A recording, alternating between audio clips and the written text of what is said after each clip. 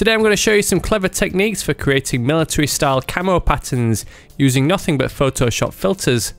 The result is completely randomized, which is perfect for producing abstract shapes and disruptive patterns. I'll show you a range of optional steps you can take to customize the appearance of your camouflage design, then prepare to have your mind blown when you see how Photoshop can completely automate the creation of your pattern across a vast area with no repetition whatsoever. This is the camo pattern I'll be creating in this tutorial, but you can use the same process to create endless pattern designs with various colours, shapes, details and effects. This is just a sample of some of the additional camo patterns I created in minutes by simply adjusting the parameters of the same Photoshop file. To begin, open up Adobe Photoshop and create a new document. The size of your document needs to be around 3000 pixels or larger to allow for the scaling of the filters we'll be using.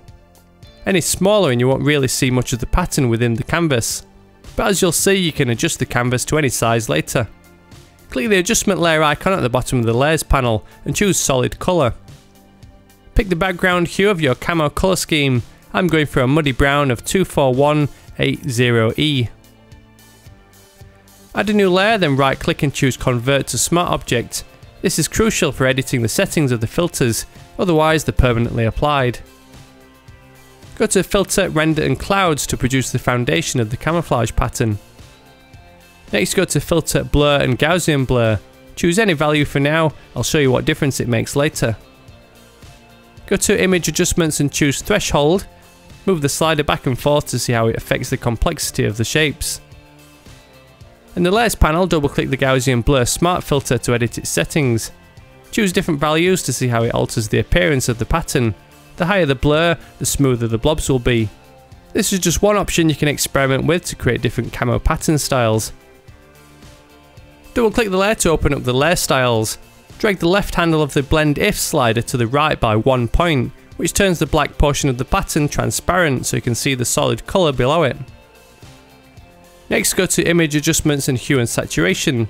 Check the colorize option and alter the lightness, hue and saturation sliders to find a suitable colour for this layer of camo shapes. I went with a dark green. As with all the smart filters, the settings can be changed by double clicking it in the layers panel. Use the command or control key on Windows and J shortcut to duplicate the layer.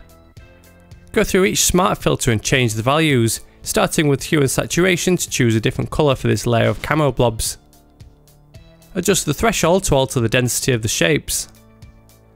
Alter the blur amount to determine how detailed the blobs are. Then double click the clouds filter to randomly generate a unique layout. Use the Command and J shortcut again to make another duplicate layer. Repeat the process of adjusting each smart filter to generate a unique spread of abstract shapes. Another filter that can help you create unique pattern designs is motion blur, which will generate longer shapes. Find it under the filter and blur menu, then choose a high value. Drag the filter below a threshold within the stack of smart filters, then adjust the various filter settings to find the best result. Let's take a look at some other filters you can use to customize the appearance of your pattern design. Activate the middle camo layer, then go to Filter and Filter Gallery. Under the Distort category, choose Glass. Move the sliders to see how it produces a grainy outline around the blob shapes. Frosted is the default texture, but you can also choose tiny dots for a halftone effect. Alternatively, you can load your own texture, but first we need a texture to use. Download some kind of texture to use within your camo pattern, such as brush strokes, tree bark, foliage, or something completely abstract. I'm using this free oil painting photo from unsplash.com. Open the image in Photoshop, then go to File and Save As. Choose Photoshop as the file format to make a PSD. Back in the main camo design file, bring up the filter gallery again.